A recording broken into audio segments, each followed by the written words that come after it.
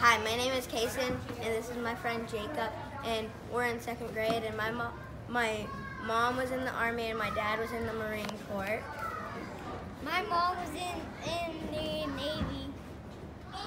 And I got, we got jokes for you. Um, what did the stamp say to the envelope on Valentine's Day? I'm stuck on you. What did one volcano say to the other? I love you. Happy Valentine's Day. To, to y'all veterans.